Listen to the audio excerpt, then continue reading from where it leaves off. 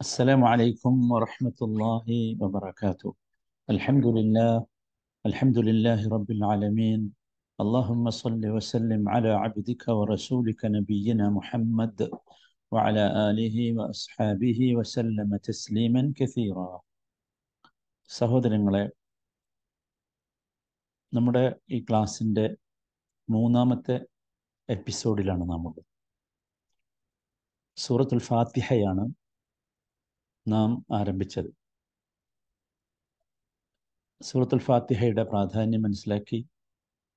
ഖുർആൻ വായിക്കുമ്പോൾ ഇസ്തിയാദത്ത് ചെയ്യേണ്ടതിന്റെ പ്രാധാന്യം എന്തുകൊണ്ടാണ് അങ്ങനെ എന്ന് നമ്മൾ മനസ്സിലാക്കി.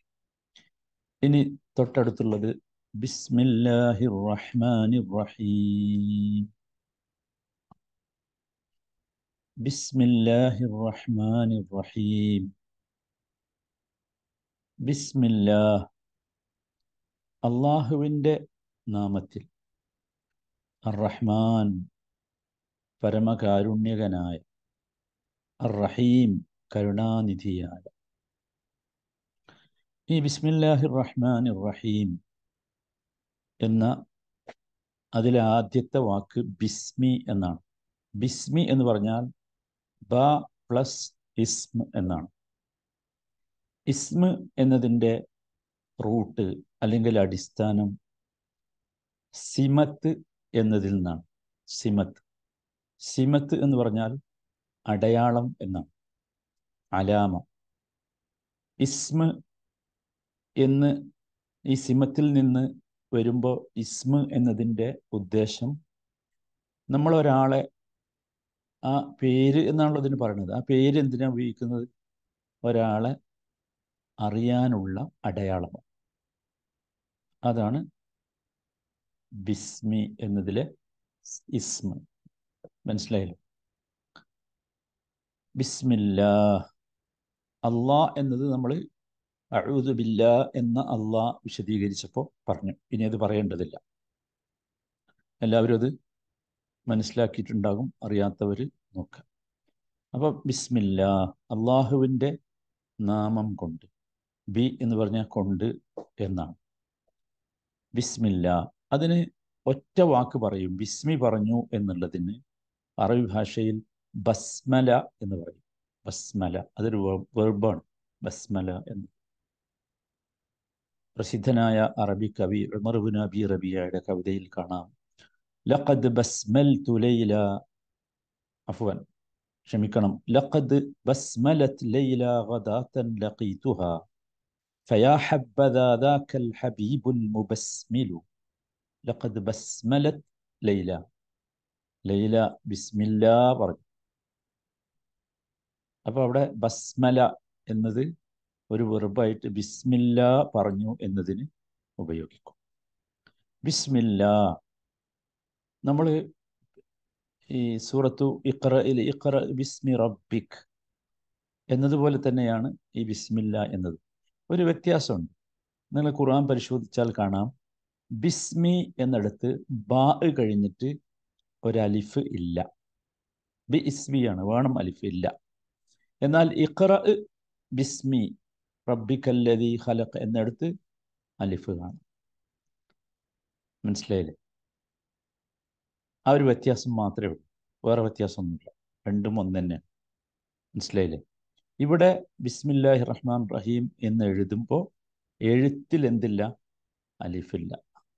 കാരണം അത് ഉച്ചരിക്കുമ്പോൾ കാണുന്നില്ലല്ലോ. ഉച്ചരിക്കുമ്പോൾ വ്യക്തമല്ല. അതുകൊണ്ട് എഴുതാതിരുന്നാണ് ഇത്രയുള്ളൂ മനസ്സിലായില്ല? ഈ ബിസ്മില്ല എന്നത് അതിലെ ഈ ബാ എന്താണ് ബാ നമ്മൾ കൊണ്ട് എന്നർത്ഥം പറഞ്ഞു ബിസ്മില്ല. ബാ എന്ന് പറയാ അറബി ഭാഷയിൽ ഹർഫ് ജെറ് എന്നാണ്. അത് സാധാരണ ഉപയോഗിക്കുക. ഇൽ ലിൽ ഇൽത്തിസാഖി അല്ലെങ്കിൽ ലിൽ ഇസ്ത്യാനത്തി. ബാ ഒരുപാട് കാര്യങ്ങൾക്ക് ഖുർആാനിൽ തന്നെ ഉപയോഗിച്ചിട്ടുണ്ട്. ബാ എന്ന അക്ഷരം. മനസ്സിലായി? ഒന്നാമതായി ഉപയോഗിച്ചത് ചേർന്ന് നിൽക്കുന്നിടത്ത് ബി. ഇസ്ത്യാനത്തിന് ഉപയോഗിക്കും. സഹായം ചോദിക്കുന്നിടത്ത് ബി കസമിന് സത്യം ചെയ്യാൻ ബി ഉപയോഗിക്കും. സബബിന് ഉപയോഗിക്കും. ഒരു കാരണം പറയാൻ ബി ഉപയോഗിക്കും. അങ്ങനെ ഒരുപാട് കാര്യങ്ങൾക്ക് ഉപയോഗിക്കും. ചേർന്ന് നിൽക്കുന്നതിന് ഉദാഹരണം മസഹ്തു ബി ഇസി പറയും മസഹ്തു ഇസി എന്നല്ല പറയാം. മസഹ്തു ബി ഇസി. ഞാൻ എന്റെ തല തടവി. മനസ്സിലായില്ലേ? പിന്നെ നമ്മൾ പറഞ്ഞത് ഇസ്ത്യാനത്തിന് ഉപയോഗിക്കും. ഉദാഹരണം റബഹ്തു ബി സിക്കീൻ പറയും. സിക്കീൻ കൊണ്ട് ഞാൻ അറുത്തു. മനസ്സിലായില്ലേ? അങ്ങനെയൊക്കെ ഈ ബ വരും. ഇവിടെ ബിസ്മില്ല പറഞ്ഞാൽ ഉദ്ദേശിക്കുന്നത് യഥാർത്ഥത്തിൽ ഈ നേരത്തെ പറഞ്ഞ കൊണ്ട് എന്ന അർത്ഥത്തിലാണ്. അപ്പം അതിന്റെ ഉദ്ദേശം യഥാർത്ഥത്തിൽ അബ്ദ ഉ ബിസ്മില്ല എന്നാണ്. ബിസ്മില്ല കൊണ്ട് ഞാൻ തുടങ്ങുന്നു എന്ന്. അബ്ദ ഉ എന്നത് ഇല്ല. അത് ഹദഫ് ചെയ്തു. അത് അവിടെ ഇല്ല കളഞ്ഞതാണ്. അത് കളഞ്ഞത് എന്തിനാന്ന് ചോദിച്ചാൽ തഹ്ഫീഫിന് വേണ്ടി. കാര്യങ്ങൾ ലഘുവാക്കാൻ വേണ്ടിയാണ് അവിടെ അബ്ദ ഉ എന്നത് ഒഴിവാക്കിയത്. ശരിക്കും വേണ്ടത് അബ്ദ ഉ ബിസ്മില്ല. ബിസ്മി അള്ളാഹുവിന്റെ പേര് കൊണ്ട് ഞാൻ ആരംഭിക്കുന്നു എന്നാണ്. ബിസ്മില്ല എന്ന് പറയുമ്പോൾ അതിന്റെ ഉദ്ദേശം അതാണ്. അള്ളാഹുവിന്റെ പേര് കൊണ്ട് ഞാൻ ആരംഭിക്കുന്നു. മനസ്സിലായല്ലോ? അപ്പം ആ അബ്ദ ഉ എന്നത് തഹ്ഫീഫിന് വേണ്ടി അഥവാ ലഘൂകരിക്കാൻ വേണ്ടി ഒഴിവാക്കിയതാണ്. നമ്മളെല്ലായിടത്തും ബിസ്മി പറയണമല്ലോ അപ്പം എല്ലായിടത്തും ഈ അബുദവ് ബിസ്മില്ല അബുദവ് ബിസ്മില്ല എന്ന് പറയേണ്ടതില്ല. ബിസ്മില്ല എന്ന് പറഞ്ഞാൽ തന്നെ എന്തായി? അതായി. മനസ്സിലായല്ലോ? ഓക്കെ. ഈ ബിസ്മില്ല അർ റഹ്മാൻ അർ റഹീം നോക്കൂ ഇത് അള്ളാഹുവിന്റെ മൂന്ന് അസ്മാകൾ ഈ ബിസ്മില്ലയിലുണ്ട്. ബിസ്മില്ല അള്ളാഹ് ഒന്ന് അർ റഹ്മാൻ രണ്ട് അർ റഹീം മൂന്ന്. മനസ്സിലായില്ലേ? റഹ്മാൻ എന്നത് റഹ്മത്തിൽ നിന്ന് വന്നതാണ്. റഹ്മാനും റഹീമും റഹ്മത്തിൽ നിന്ന് വന്നതാണ്. രണ്ടും റഹ്മത്തിൽ നിന്ന് വന്നത് മനസ്സിലായില്ലേ? അള്ളാ എന്ന് പറഞ്ഞാൽ നമ്മൾ പറഞ്ഞു അലിഹയിൽ നിന്ന് വന്നതാണ്. ഇബാദത്തിന് അർഹതയുള്ള ഏക വേറൊരാൾക്കും അർഹതയില്ല ഏകൻ. അതാണ് അള്ളാ എന്ന് പറഞ്ഞത്. മനസ്സിലായില്ലേ? അർ റഹ്മാൻ എന്ന് പറഞ്ഞാൽ നമ്മൾ അർത്ഥം പറഞ്ഞത് പരമകാരുണ്യകൻ എല്ലാവർക്കും കരുണ ചെയ്യുന്നത് അർ റഹ്മാൻ അർ റഹീം എന്ന് പറഞ്ഞാൽ കരുണാനിധി. കരുണാനിധി എന്ന് പറഞ്ഞാൽ ഇവിടെ ഉദ്ദേശിക്കുന്നത് അള്ളാഹുവിന് വഴിപ്പെട്ട് ജീവിക്കുന്നവർക്ക് മാത്രം കരുണ ചെയ്യുന്നവർ റഹ്മാൻ റഹീം. അതാണ് റഹ്മാനും റഹീമും തമ്മിലുള്ള വ്യത്യാസം. മറ്റൊരു വ്യത്യാസം കൂടിയുണ്ട്. അർ റഹ്മാൻ എന്നത് അള്ളാഹുവിന് മാത്രം പറയുന്ന പേരാണ്. റഹീം എന്നത് അള്ളാഹു അല്ലാത്തവർക്കും ഉപയോഗിക്കും. മുഅ്മിനീന റഊഫുർ റഹീം എന്ന് റസൂലുള്ളാഹി സ്വല്ലല്ലാഹി വസല്ലമയെ കുറിച്ച് ഖുർആൻ തന്നെ ഉപയോഗിച്ചിട്ടുണ്ട്. മനസ്സിലായല്ലോ? റഹ്മാൻ എന്നത് ഒന്നാമത് നമ്മൾ പറഞ്ഞു റഹ്മാൻ എന്നത് പൊതുവാണ്. എല്ലാവർക്കും കരുണ ചെയ്യുന്നവൻ എന്ന അർത്ഥത്തിലാണ്. റഹീം എന്ന് പറഞ്ഞാൽ അതാണ് ആമാണ് എന്ന് പറഞ്ഞു മനസ്സിലായല്ലോ? അപ്പോൾ ശരിക്കും റഹ്മാൻ എല്ലാവർക്കും ഈ ഭൂലോകത്ത് മനുഷ്യൻ പ്രപഞ്ചത്തിൽ മനുഷ്യൻ അനുഭവിക്കുന്നത് എല്ലാവരും മനുഷ്യരല്ല എല്ലാവരും അനുഭവിക്കുന്നത് അള്ളാഹുവിന്റെ റഹ്മത്തിൽ നിന്നാണ്. അള്ളാഹുവിന്റെ റഹ്മത്തിന്റെ ഒരംശത്തിൽ നിന്ന്. മറ്റത് റഹീം എന്ന് പറയുന്നത് ആർക്കാണ്? അത് അള്ളാഹുവിനെ വഴിപ്പെട്ട് ജീവിക്കുന്നവർക്ക് മാത്രമുള്ളത്. അതാണ് റഹ്മാൻ റഹീം തമ്മിലുള്ള വ്യത്യാസം. ഇപ്പൊ രണ്ട് വ്യത്യാസം നമ്മൾ പറഞ്ഞു. റഹ്മത്ത് നമ്മൾ എന്താണ് എന്താണ് റഹ്മത്ത് എന്ന് പറഞ്ഞാൽ റഹ്മത്ത് എന്ന് പറഞ്ഞാൽ ഇറാദത്തുല്ലാഹി അൽ ഖൈർ അലി അഹ്ലി എന്നാണ്. അള്ളാഹു അള്ളാഹുവിന്റെ ആളുകൾക്ക് ഖൈറിനെ ഉദ്ദേശിക്കുന്നു. ആ ഖൈറിനെ നന്മ ഉദ്ദേശിക്കുന്നു. അതാണ് എന്ത് റഹ്മത്ത് എന്ന് പറഞ്ഞാൽ. റഹ്മാൻ എന്ന് പറഞ്ഞാൽ അതാ. അതൊരു വല്ലാത്ത സിഫത്താണ്. ശരിക്കും റഹ്മത്തിന്റെ അടിസ്ഥാനമായി പറയുന്നത് റഹീം എന്നതിന്റെ അടിസ്ഥാനമായി പറയുന്നത് തെർക്കുൽ മൻ യസ്തഹിഖുഹ. ശിക്ഷിക്കാൻ അവകാശമുണ്ടായിട്ടും ശിക്ഷിക്കാതിരിക്കുന്നവൻ. റഹ്മാൻ റഹീം. അതുപോലെ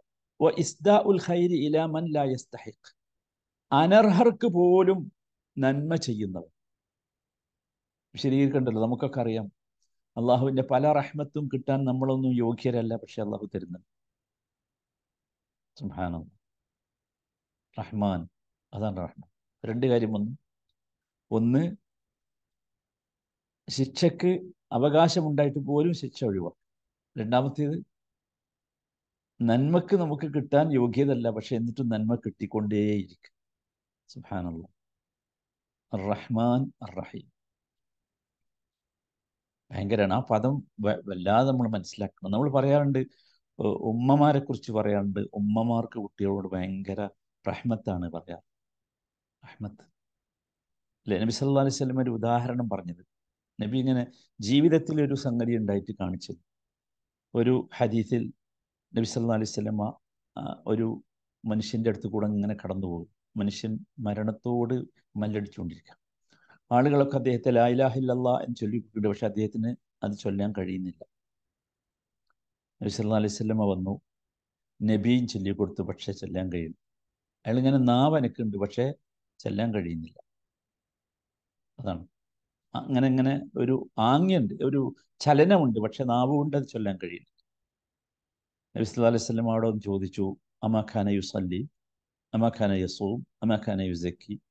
ഇദ്ദേഹത്തിന് സലാത്തില്ലായിരുന്നു നോമ്പിൽ നിസ്കാരമില്ലായിരുന്നു നോമ്പില്ലായിരുന്നു സക്കാത്തില്ലായിരുന്നു ചോദിച്ചു. എല്ലാത്തിനും ആളുകൾ അതേ നർത്തരം എല്ലാം ചെയ്തു. നാലാമത്തെ നബി ചോദിച്ചു ഹൽ അക്ക വാലിദൈഹി? ഇയാൾ ഇയാളുടെ മാതാപിതാക്കളെ ഉപദ്രവിക്കാറുണ്ടായിരുന്നു ചോദിച്ചു. നബി സൽ അപ്പം ആളുകൾ പറഞ്ഞു അതെ. അങ്ങനെ ഉണ്ടായിരുന്നു അപ്പം നബി അലൈഹി സ്വലമ ഉമ്മയെ കൊണ്ടുവരാൻ ഉമ്മനെ കൊണ്ടുവന്നു. ഉമ്മാനോട് ചോദിച്ചു ഈ കുട്ടിയുടെ മുമ്പിൽ വെച്ച് നബി മോന് പുറത്തു കൊടുത്തൂടെ? എന്ന് ചോദിച്ചു. ഉമ്മ പറഞ്ഞു ഞാൻ പുറത്തു കൊടുക്കില്ല കാരണം അവൻ എന്നെ അടിച്ചിട്ടുണ്ട്. ഒരിക്കൽ അടിക്കുക മാത്രമല്ല ഫഫക്ക ആയിനി എന്റെ കണ്ണ് അവൻ ചൂഴ്ന്നെടുത്തിട്ടുണ്ട് ഒരിക്കൽ ഞാൻ പുറക്കൂല എന്ന് പറഞ്ഞു. അവൻ നബ്സല്ലാ അലൈഹി സ്വലമ പറഞ്ഞു എന്നാൽ നിങ്ങൾ കുറച്ച് വിറകും തീയും കൊണ്ടുവരാൻ പറഞ്ഞു അപ്പോൾ ഉമ്മ ചോദിച്ചു എന്തിനാണ് വിറകും തീയും എന്ന്? നബ്സല്ലാ പറഞ്ഞു ഇവനെ ഞാൻ തീയിലിട്ട് കരിക്കാൻ പോവുക ഉമ്മയോട് അവൻ ചെയ്ത ആ പ്രവൃത്തി അത്ര വലുതാണ് നിങ്ങളോട് ചെയ്ത പ്രവൃത്തി അത്ര വലുതാണ് അതുകൊണ്ട് തീയിലിട്ട് അവനെ കരിക്കാൻ പോവുക അപ്പോൾ ഉമ്മ പറഞ്ഞു അഫൗത്തു അഫൗത്തു. ഞാൻ അവന് വിട്ടുകൊടുത്തു വിട്ടുകൊടുത്തു പുറത്തു കൊടുത്തു എന്നിട്ട് അമ്മ ചോദിച്ചൊരു ചോദ്യമുണ്ട്. അലിന്നാരി ഹമൽ തുഹു തിസാത്ത അഷ്ഹുർ. ഈ തീക്കുണ്ടാരത്തിലിട്ട് കരിക്കാനാണ് ഒമ്പത് മാസം ഞാൻ അവനെ ഗർഭം ചുമന്നത്. അലിന്നാരി അർദ്ദഅ്തുഹു സനത്തൈ ഈ തീയിലിട്ട് കരിക്കാനാണോ രണ്ട് കൊല്ലം ഞാൻ അവന് പാൽ കൊടുത്തത്? അത് വിശ്വാസം അവിടെ ഉമ്മന്റെ റഹ്മത്ത് നമുക്ക് കാണിച്ചിരുന്നു. റഹ്മത്ത് എന്ന് പറഞ്ഞാൽ ഞാനത് മനസ്സിലാക്കാൻ വേണ്ടി പറഞ്ഞതാണ്. ഇതൊന്നും അല്ല അള്ളാഹുവിന്റെ റഹ്മത്ത് എന്ന് പറഞ്ഞാൽ. ഉമ്മ പോലും അങ്ങനെയാണ്. നിങ്ങൾ ആലോചിച്ചു ആലോചിച്ചു. ഉമ്മ പോലും അങ്ങനെ ഉമ്മാക്ക് പോലും കഴിയുന്നില്ല. പിന്നെ എങ്ങനെയാണ് നമ്മുടെ അള്ളാഹുവിന് പരമകാരുണ്യകനായ കരുണാനിധിയായ റബ്ബിന് നമ്മളെ നരകത്തിൽ കരിക്കാൻ കഴിയുമോ? ഇല്ല.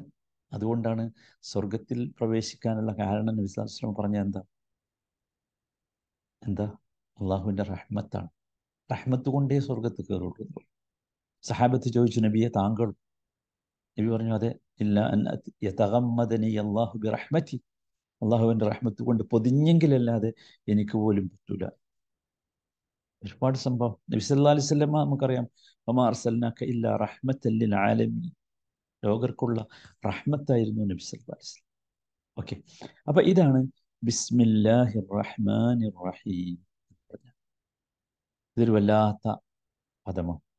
നോക്കൂ ഇതിൽ എന്തുകൊണ്ടാണ് അള്ളാഹുവിന്റെ മൂന്ന് ഇസ്മുകൾ പറഞ്ഞത്?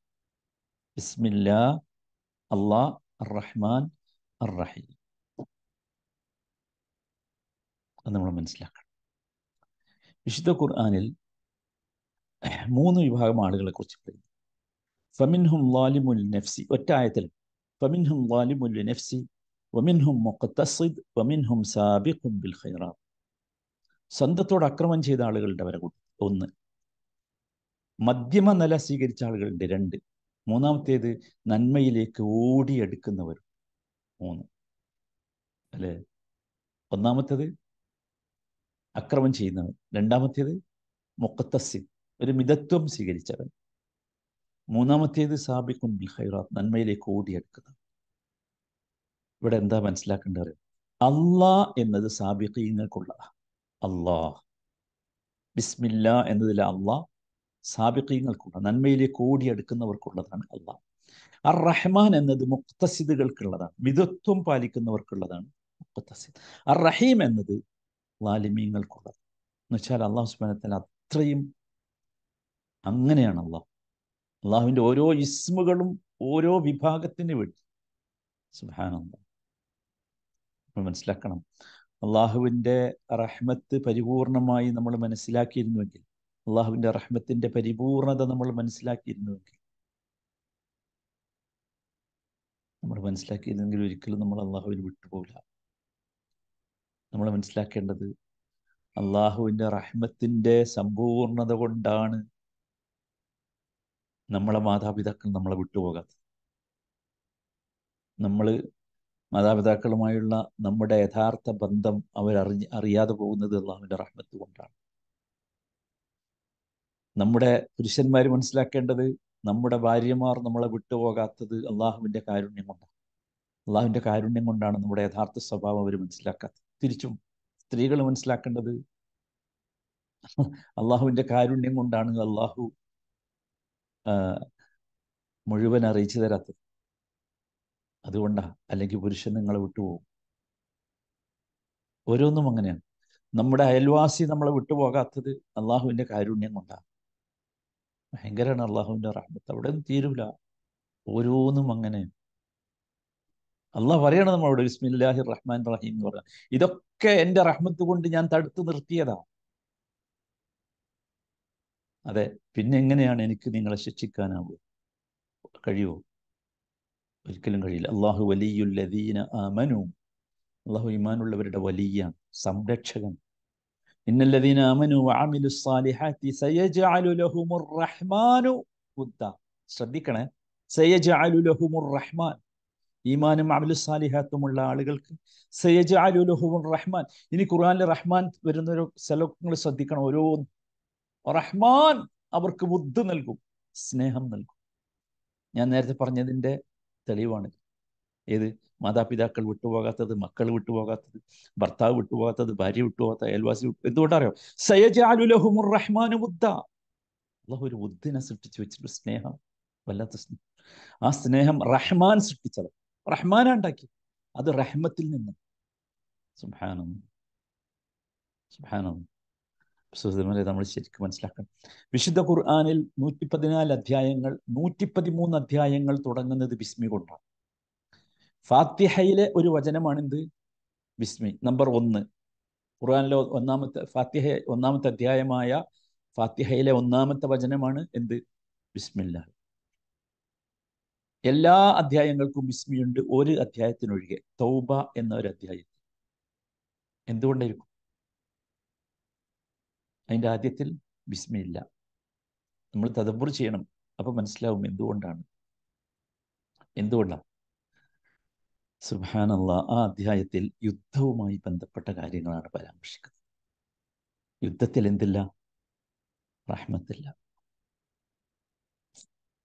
നോക്കൂ കാരുണ്യം ഒഴുകാത്ത സ്ഥലത്തൊക്കെ അവിടെ ഒന്നും റഹ്മാനില്ല. നോക്കൂ നമ്മൾ അറവ് നടത്തുമ്പോൾ അറിവ് നടത്തുമ്പോൾ ഉദഹിയത്ത് ഹക്കീക്കത്ത് കറക്കുമ്പോൾ എന്താ ചെല്ലേണ്ടത്? ബിസ്മില്ല. ബിസ്മില്ല. എന്തില്ല? റഹ്മാൻ റഹീം എന്താ? അത് റഹ്മത്തല്ലല്ലോ. ആ കന്നുകാലിയെ സംബന്ധിച്ചിടത്തോളം എന്തല്ല റഹ്മത്തല്ല. സഹോദരങ്ങളെ ശ്രദ്ധിക്കണം. ഒരു തവണ പതിനേഴ് പ്രാവശ്യം നമ്മളെ കൊണ്ട് അള്ളാഹു ചെല്ലിക്കുന്നുണ്ട്. ഒരു ദിവസം സോറി ഒരു ദിവസം പതിനേഴ് തവണ. എന്ത് ചെല്ലിക്കുന്നത് നിർബന്ധമായി. ഒരു വിശ്വാസം ചെല്ലണം എന്ത്? ബിസ്മില്ലാഹി റഹീം എന്ന് പറഞ്ഞാൽ എന്താ അർത്ഥം എന്നറിയാം ഞാൻ നിന്നെ ശിക്ഷിക്കാൻ അല്ല നിന്നെ സൃഷ്ടിച്ചത്. ശരിക്കും ശ്രദ്ധിച്ചോ? ഇനി വിസ്മി ചെല്ലുമ്പോൾ കാരണം എന്താ? സുഹാൻ അള്ളാ അള്ളാഹുവിന്റെ റഹ്മത്ത് അതാണ്. ബിസ്മില്ലാഹി റഹ്മാൻ റഹീം ഞാൻ നിന്നെ ശിക്ഷിക്കാൻ വേണ്ടിയല്ല സൃഷ്ടിച്ചത്. ഞാൻ നിന്നെ കൊല്ലാൻ വേണ്ടിയല്ല സൃഷ്ടിച്ചത്. ഞാൻ നിന്നെ നശിപ്പിക്കാൻ വേണ്ടിയല്ല സൃഷ്ടിച്ചത്. പിന്നെയോ ഞാൻ എന്റെ റഹ്മത്തും എന്റെ ഫതിലും എന്റെ ഇഹ്സാനും നിലയ്ക്ക് വാരിക്കൊരുങ്ങി തരാൻ വാരിക്കോരി തരാനാണ് സൃഷ്ടിച്ചത്.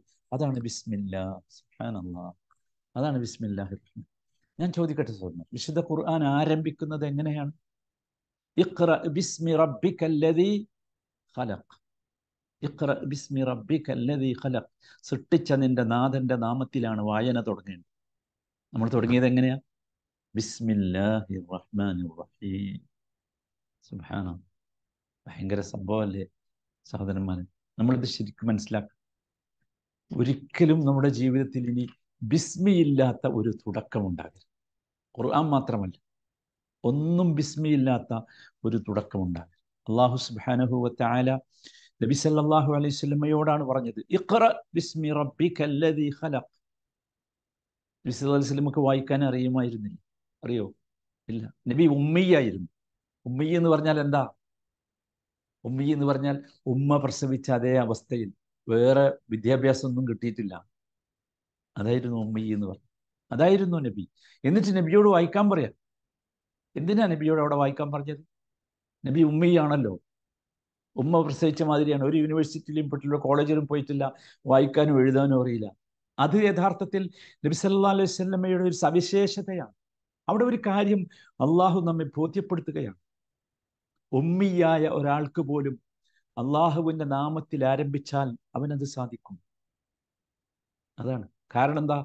അല്ലതി അല്ലമ ബിൽ കലം അതാണ്. അവിടെ എന്തൊക്കെ ഭയങ്കര വാചകമാണ്. നമ്മൾ അവിടെ എത്തുമ്പോൾ അത് നമുക്ക് ഒന്നുകൂടി വിശദീകരിക്കാം അല്ലമ ബിൽ കലം അള്ളാഹു സുബാൻ തല അൽ മാലം യാലം അറിയാത്തതൊക്കെ പഠിപ്പിച്ചവൻ അള്ളാഹുവാണ്. നബിയുടെ വിഷയത്തിൽ പ്രത്യേകിച്ചും പ്രത്യേകിച്ചും. അത് വല്ലാത്തൊരു സംഭവമാണ്. നബിസ് അലൈഹി സ്വലമക്ക് നബിസ് അലൈഹി സ്വലമ ഉമ്മിയായിരുന്നു. അത് സുഹൃത്ത് യൂനുസിന്റെ പതിനാറാമത്തെ വചനത്തിൽ വല്ലാത്ത ഹൃദയസ്പർക്കായി പറയുന്നുണ്ട്.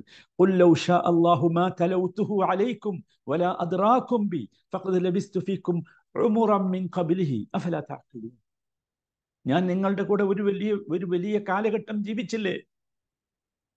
അള്ളാഹു ഉദ്ദേശിച്ചിരുന്നില്ലവെങ്കിൽ അള്ളാഹുവിന്റെ പ്രത്യേകമായ ഉദ്ദേശമില്ലായിരുന്നുവെങ്കിൽ മാ തലൗത്തുഹു അലൈക്കും.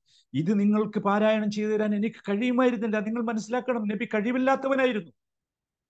വായിക്കാനും പാരായണം ചെയ്യാനും അറിയാത്തവനായിരുന്നു നബി. പിന്നെന്താ? ഇവിടെ അള്ളാഹുവിന്റെ അത്ഭുതമാണ്. കുൻ ഫയക്കുൻ. അതന്നെ. അള്ളാഹ്ക്ക് അത്രേ ഉള്ളൂ. കുൻ ഫയക്കൂൻ അപ്പം ഉണ്ടാവും നബി സല്ലാ അലൈഹി വിഷയത്തിൽ അതാണ് ഉണ്ടായത്.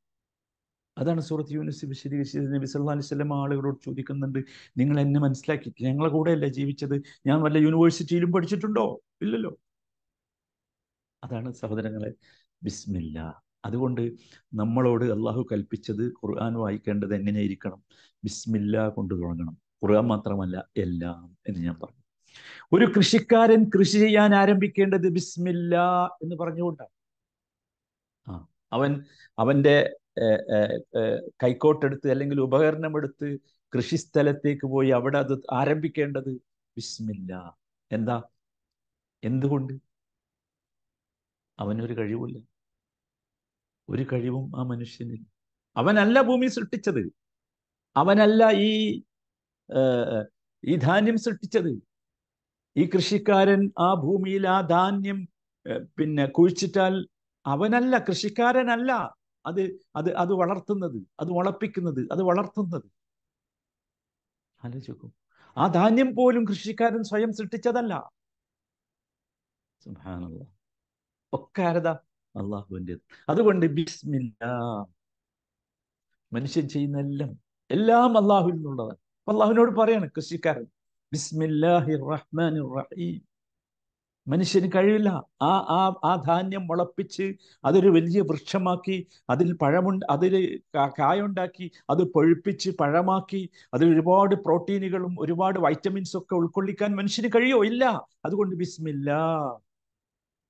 സുബാനല്ലാ എല്ലാം സാധനം അല്ല ഈ പ്രപഞ്ചത്തിലുള്ള ഞാനൊരു ഉദാഹരണം മാത്രം പറഞ്ഞതാണ് ഒരു കച്ചവടക്കാരൻ കച്ചവടം ആരംഭിക്കേണ്ടത് ബിസ്മില്ല. ഷോപ്പ് തുറക്കേണ്ടത് ബിസ്മില്ല. ഒരു വിദ്യാർത്ഥി പഠിക്കാൻ ആരംഭിക്കേണ്ടത് ബിസ്മില്ല. ആ എല്ലാം എല്ലാവരും അങ്ങനെയാണ് എല്ലാവരും എല്ലാവരും. നമ്മൾ ശരിക്കും മനസ്സിലാക്കണം. നിങ്ങൾ ആലോചിച്ച് നോക്കൂ ഈ കന്നുകാലികളെ പോറ്റുന്ന ആളുകൾ. എനിക്ക് വല്ലാത്തൊരു വികാരം തോന്നാറുണ്ട്. സുഹൃത്ത് യാസീനിലെ എഴുപത്തി രണ്ടാമത്തെ എഴുപത്തി ഒന്ന് എഴുപത്തിരണ്ട് വചനങ്ങൾ വായിക്കുമ്പോൾ. അവലം യറവു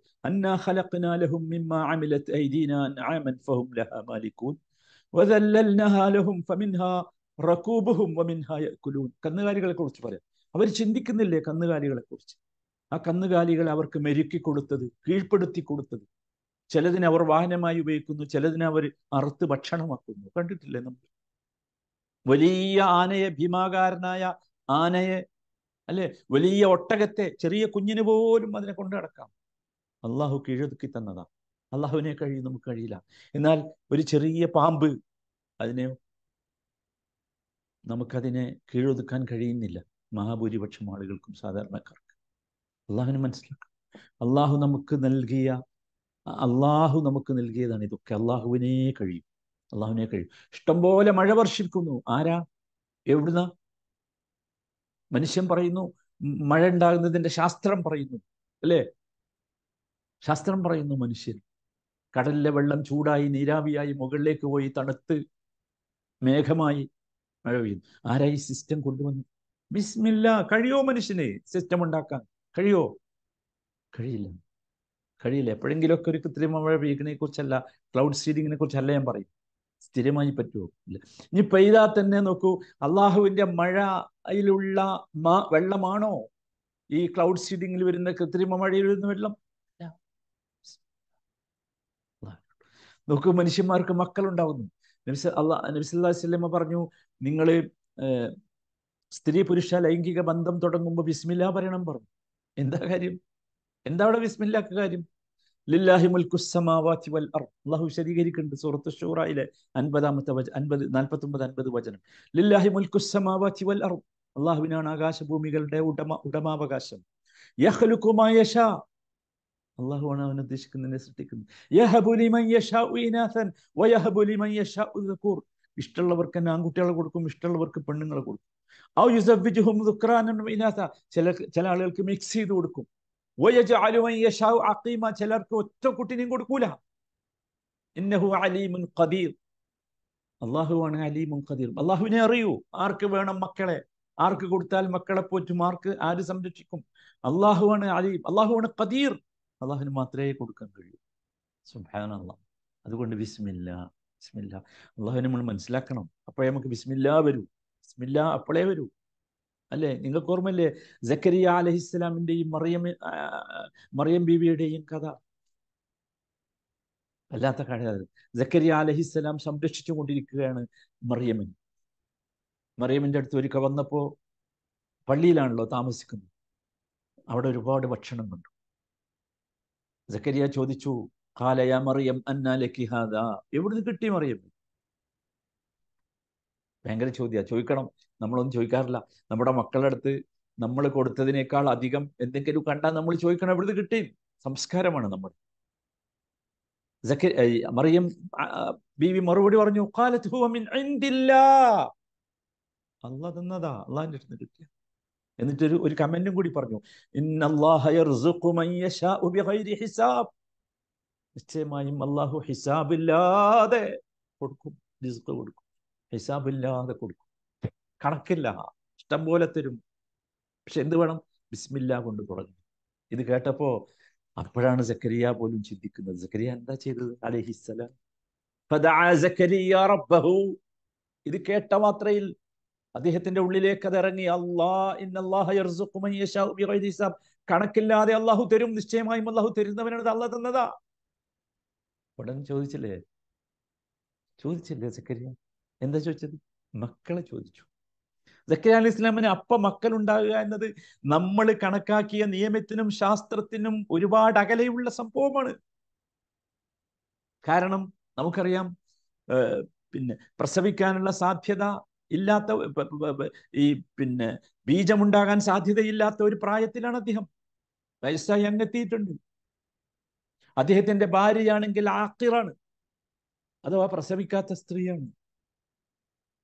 പ്രസവിക്കുന്ന സ്ത്രീയാണെങ്കിൽ തന്നെ യുവത്വത്തിലല്ലേ പ്രസവിക്കും നിങ്ങൾ ആലോചിച്ച് നോക്കൂ. അവിടെ എന്താ സംഭവിക്കുന്നത്? ചിന്തിച്ചില്ല ഒന്നും ചിന്തിച്ചില്ല ഒന്നും ഏത് നിയമത്തെയും മാറ്റിമറിക്കാൻ ബിസ്മില്ലാക്ക് കഴിയുമെന്നർത്ഥം അള്ളാഹുവിന് കഴിയും എന്നർത്ഥം. പക്ഷേ ആ ഒരു ബോധം നമ്മുടെ ഉള്ളിലേക്ക് കയറും. ആ ഒരു തെസ്ലീം നമ്മുടെ ഉള്ളിൽ ഉണ്ടാകണം. ആ ഒരു സമർപ്പണം നമ്മുടെ ഉള്ളിൽ ഉണ്ടാകണം. അപ്പൊ അതുകൊണ്ട് ഞാൻ പറഞ്ഞു വന്നത് ഈ ബിസ്മില്ലാഹി റഹ്മാൻ റഹീം എന്ന ഫാത്യഹയിലെ ഒന്നാമത്തെ വചനത്തിൽ നിന്ന് നാം ഉൾക്കൊള്ളേണ്ടത് ഇനി നമ്മുടെ ജീവിതത്തിൽ എന്തും തുടങ്ങേണ്ടത് എങ്ങനെയായിരിക്കണം? കൊല്ലു ബിസ്മില്ല. എല്ലാം. എല്ലാം. അങ്ങനെ ചെയ്താൽ എന്തുണ്ടാവും? നമ്മൾ ബാന്റെ അർത്ഥം പറഞ്ഞ എന്താ? അൽ ഇൽത്തിസാഖ് പറഞ്ഞോ? ഇൽത്തിസാഖ് ചേർന്ന് നിർത്തും. ബാ അതാണ്. ബിസ്മില്ല എന്ന് പറഞ്ഞു തുടങ്ങിയാൽ അള്ളാഹു നമ്മളെ ചേർത്ത് നിർത്തും. അള്ളാഹു നമ്മളെ സഹായിക്കും. ബിസ്മില്ല എന്ന് പറഞ്ഞു തുടങ്ങിയാൽ അള്ളാഹുവിന്റെ റഹ്മത്ത് നമ്മുടെ ജീവിതത്തിൽ നമ്മൾ അറിയാതെ ഇറങ്ങി വരും. ബിസ്മില്ല പറഞ്ഞു തുടങ്ങിയാൽ പ്രശ്നങ്ങളെ നമുക്കറിയൂ. പരിഹാരം നമുക്കറിയില്ല. പക്ഷെ പരിഹാരം ആര് തരും? അള്ളാഹു സുബാന ബിസ്മില്ലാ ബിസ്മില്ലാഹിർ റഹ്മാനിർ റഹീം ചിന്തിക്കണം സാധനം ചിന്തിക്കണം. ഒരുപാട് കാര്യങ്ങൾ ചിന്തിക്കാൻ ഒരുപാട് കാര്യങ്ങൾ പറഞ്ഞാൽ തീരാത്ത. അതുകൊണ്ടാണ് നബി സല്ലല്ലാഹു അലൈഹി വസല്ലമ ബിസ്മില്ലാ തുടങ്ങി പറയാൻ പറഞ്ഞു കുല്ലു അംരിൻ ഫീഹി ബിസ്മില്ലാഹിർ റഹ്മാനിർ റഹീം അഖ്ത നബി പറഞ്ഞു. ബിസ്മില്ലാഹിർ റഹ്മാനിർ റഹീം എന്ന് പറഞ്ഞു തുടങ്ങാത്ത എല്ലാ കാര്യവും അഖ്ത വാലറ്റ് പോകും. എന്താ വാലറ്റ് പോകുമെന്ന് പറഞ്ഞാൽ? അതിൽ ന്യൂനതകൾ വരും. അത് പരിപൂർണമാവുകയില്ല. ഇത് വല്ലാത്ത സംഗതിയാണ്. ബിസ്മില്ലാഹി റഹീം പരിപൂർണമാവില്ല എന്ന് പറഞ്ഞാൽ ദുനിയാവിൽ ചിലപ്പോൾ പരിപൂർണമാവും പരിപൂർണമാവില്ല എന്നല്ല. പക്ഷേ നമുക്ക് ദുനിയാവും ആഹ്റത്തും വേണമെങ്കിൽ ഇങ്ങനെ തുടങ്ങും. അല്ലെങ്കിൽ ചിലപ്പോൾ കിട്ടും. ഇവിടുത്തെ നിയമം ഇവിടുത്തെ അള്ളാഹു സൃഷ്ടിച്ച നിയമത്തിന്റെ അടിസ്ഥാനത്തിൽ ചിലപ്പോൾ കിട്ടൂല എന്നൊന്നുമല്ല. കിട്ടും. പക്ഷെ ദുനിയാവിൽ മാത്രമായിരിക്കും കിട്ടുക. നമുക്ക് ആഹ്റത്തിലും കൂടി കിട്ടണ്ടേ? അങ്ങനെ കിട്ടാൻ എന്ത് വേണം? ബിസ്മില്ലാഹി റഹ്മാൻ റഹീം ഓരോ സമയത്ത് നമ്മൾ മറന്നു പോകരുത്. ഭക്ഷണം കഴിക്കാൻ തുടങ്ങുമ്പോൾ നമ്മൾ ബിസ്മില്ല പറയണം. എന്തിനാന്ന് ഞാൻ പറയണ്ടല്ലോ ഇനി? പറയണം. അപ്പോഴെല്ലാം നമ്മൾ ചേർത്ത് നിർത്തും. ആ ഭക്ഷണം നമ്മുടെ ആരോഗ്യത്തിന് പറ്റും. എല്ലാം എല്ലാത്തിനും പറ്റും. നമുക്ക് പോഷകമുള്ളതായിത്തീരും ഓരോ സമയത്തും സാധനം.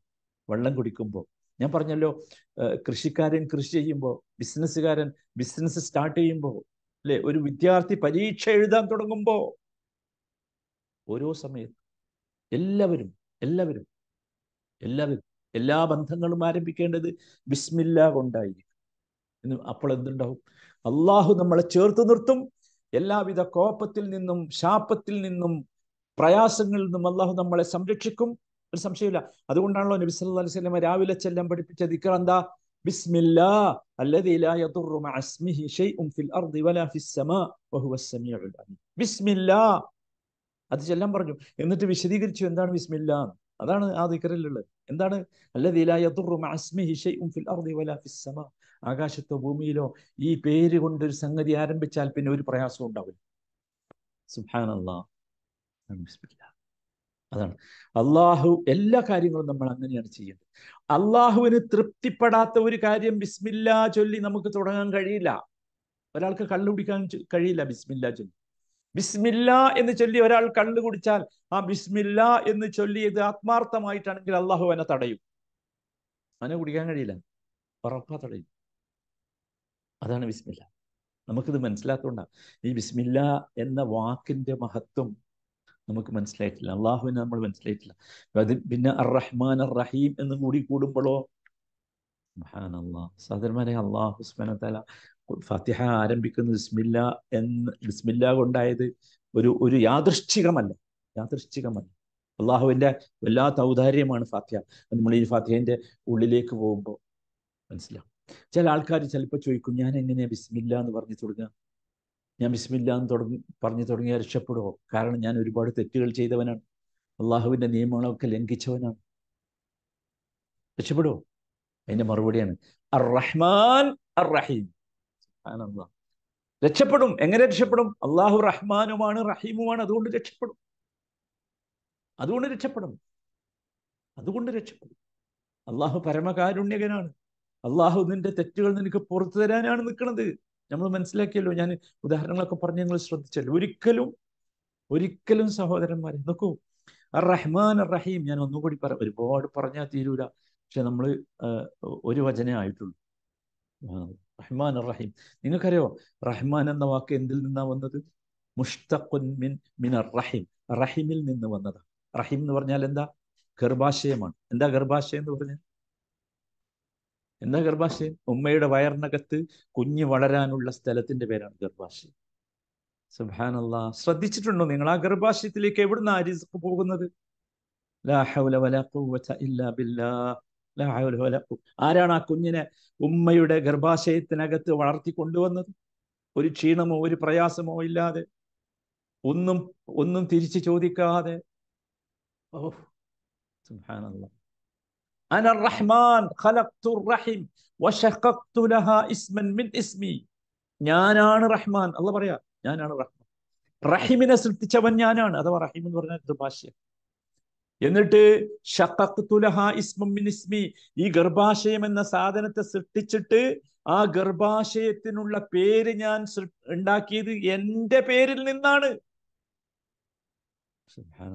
എന്തായിരിക്കും അപ്പൊ ഗർഭാശയം എന്ന് പറഞ്ഞു റഹ്മത്തിന്റെ റഹ്മത്തിന്റെ കേദാരമാണ് റഹ്മത്തിന്റെ സങ്കേതമാണ്. അതുകൊണ്ടാണ് അള്ളാഹു സുബാന താലാന്റെ പേരിൽ നിന്നാണ് റഹ്മാൻ എന്ന പേരിൽ നിന്നാണ് റഹിം എന്ന വാക്കുണ്ടാക്കിയത്. അതുകൊണ്ട് ഫമൻ വസലഹ വസൽതു. ആരെങ്കിലും ഈ റഹീമിനെ ചേർത്താൽ ഗർഭാശയത്തിൽ നിന്ന് വന്ന ആ ഉമ്മയോടുള്ള ബന്ധം ശക്തമാക്കിയാൽ കുടുംബ ബന്ധം അതിൽപ്പെട്ടത്. ഞാൻ അവനെ ചേർക്കും. ഒമൻ ഖതഅ. അതിനെ നിങ്ങൾ മുറിച്ചു കളഞ്ഞാൽ ഞാനും അവനുമായുള്ള ബന്ധം പിടിച്ചു. സുബ്ഹാനല്ലാഹ് സഹോദരങ്ങളെ ഓർക്കണം കേട്ടോ. ഇത് എപ്പോഴും ഓർക്കണം. ഇതൊന്നും പറഞ്ഞാൽ തീരൂല. നോക്കൂ അതുകൊണ്ട് ബിസ്മില്ലാഹിർ റഹ്മാൻ റഹീം ഏത് പാപം ചെയ്തവനും ഭയപ്പെടണ്ട. എന്ത് പറയാൻ? ബിസ്മി പറയാൻ. ഞാൻ എങ്ങനെ ബിസ്മി കൊണ്ട് തുടങ്ങുമെന്ന് ചോദിക്കണ്ട. അള്ളാഹു നമ്മുടെ മുമ്പിൽ തൗബയുടെ വാതിലുകൾ തുറന്നു തരും. കാരണം നമ്മൾ പറഞ്ഞത് എന്താ? അർ റഹ്മാൻ അർ റഹീം അർ റഹ്മാൻ അർ റഹീം ശരിക്കും ശ്രദ്ധിക്കുക ഒരു കാര്യം കൂടി പറയാം നമുക്ക് അവസാനിപ്പിക്കാം അർ റഹ്മാൻ റഹീം എന്നത് സത്യത്തിൽ സീറത്തുൽ മുബാലകയാണ് അഥവാ സൂപ്പർലേറ്റീവ് ഡിഗ്രിയാണ്. അതിന്റെ ഒറിജിനൽ സാധനം റാഹിം എന്നാണ്. കരുണ ചെയ്യുന്നവൻ മതി. പക്ഷേ അള്ളാഹു റാഹിം എന്ന് ഇവിടെ ഉപയോഗിച്ചിട്ടില്ല ഉപയോഗിച്ചത് മുഴുവൻ എന്താ? അർ റഹ്മാൻ അല്ലെങ്കിൽ അർ റഹീം എന്തുകൊണ്ട്? അള്ളാഹുവിന്റെ എല്ലാ കരുടെയും സൂപ്പർലേറ്റീവ്. സുബ്ഹാനല്ലാഹ് എല്ലാം. എല്ലാം മുബാലകയാണ് എത്രയോ ആണ്. മനുഷ്യന് വിവരിക്കാൻ പറ്റുന്നതിലപ്പുറമാണ്. അള്ളാഹു നൂറ് കരുണയെ റഹ്മത്തിനെ സൃഷ്ടിച്ചില്ലേ? എന്നിട്ട് ആ ഒരു റഹ്മത്ത് കൊണ്ട് റഹ്മത്ത് മാത്രമേ ഭൂമിയിലുള്ളൂ. ബാക്കി തൊണ്ണൂറ്റൊമ്പത് റഹ്മത്തും അള്ളാഹു സൂക്ഷിച്ചു വെച്ചിട്ടുണ്ട്. അള്ളാഹുവിന്റെ അടുത്ത് നമ്മൾ ചെല്ലുമ്പോൾ നമുക്ക് പാരാവാരമായി തരാൻ. നോക്കൂ ആ ഒരു റഹ്മത്ത് കൊണ്ട് മാത്രമാണ് നമ്മൾ ഇവിടെ എല്ലാം നമ്മൾ ഈ കാണുന്നതൊക്കെ. എല്ലാം. റഹ്മാൻ റഹീം അപ്പൊ ചിലപ്പോൾ ചോദിക്കാം എന്തുകൊണ്ടാണ് ഈ സീറത്തുൽ മുബാലക രണ്ട് രീതിയിൽ വന്നത്? സൂപ്പർലേറ്റീവ് ഡിഗ്രി ഒന്നല്ലേ വരാവൂ രണ്ട് ഫോം എന്തുകൊണ്ടാണ് അർ റഹ്മാൻ അർ റഹീം അതൊക്കെ വ്യത്യസ്തമായ ഘട്ടങ്ങളാണ്. സൗദി അതുകൊണ്ടാണ് നമ്മൾ രണ്ടാശയം പറഞ്ഞല്ലോ.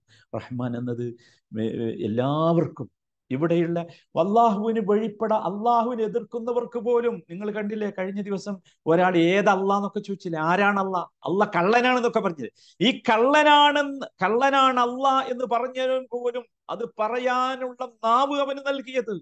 ജീവൻ നൽകിയത് ശ്വാസം നൽകിയത് ഈ അള്ളാഹുവാണ്. അവൻ ചിന്തിച്ചില്ല എവിടുന്ന് കിട്ടിയത്?